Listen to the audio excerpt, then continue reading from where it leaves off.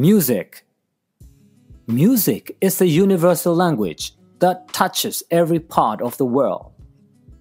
It has been around for thousands of years and exists in every culture. Music is made of sounds organized in a way that is pleasant or meaningful to listen to. It can be vocal or instrumental, with many different styles and genres like classical, jazz, rock, and pop. People listen to music for various reasons.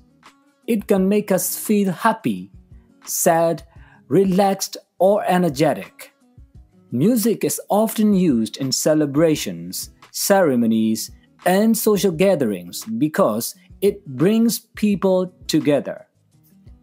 It can also be a form of expression, allowing artists to share their feelings and stories. Playing music has many benefits. It helps improve memory, coordination, and creativity.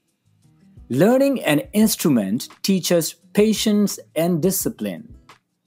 Singing can improve breathing and posture. Music therapy is used to help people with mental and emotional issues, providing a way to heal and cope. In today's world, technology makes it easy to access music. We can listen to our favorite songs on the radio, streaming services, or our devices.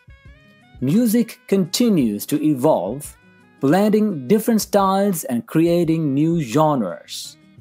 No matter where you are or what language you speak, music is a powerful force that connects us all.